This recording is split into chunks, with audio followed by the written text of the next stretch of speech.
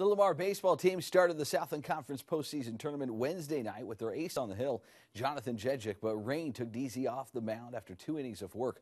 Well, that very well could have been a blessing in disguise. The Cardinals faced the top seed Bearcats of Sam Houston State earlier today in an elimination game. Winner moving on to play again tonight, and Dziedzic looked real good early on. He had a perfect game going through five innings today. We'll talk more about his pitching performance in just a bit. Any good pitcher will tell you they need some run support, so the Cardinal bats would have to come through today as well. Top of the second, no score. Zach Luvanos with bases loaded, dribbles one down the first base line. It was close, but Garrett Autry tagged out at the plate, so the Cards couldn't squeeze the run home. How about just plain hit them home? Sam Bumpers at the plate with two out.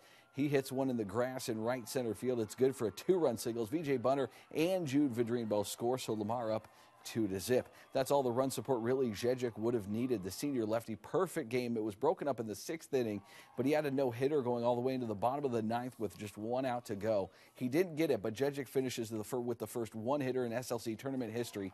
One hitter, wow! And the Cardinals eliminate the top seed Sam Houston State Bearcats. The final three to one. Big Red survives to play yet again after the win this afternoon. Coach Gilligan proud of his pitcher, and for Dziedzic, it was just another day at the office.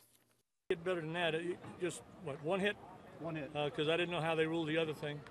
Uh, but uh, what a great, great ball game, and he did it when we had to have it. You know, there was. Uh, I told him don't look over your shoulder yesterday. I said you got to do it for us, and he did it.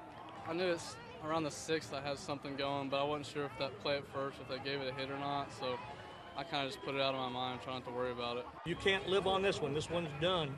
Uh, we've got to come back and beat a team that beat us the other night, and they're a good ball club. So. Um, but I, I'm just proud of what my guys did today.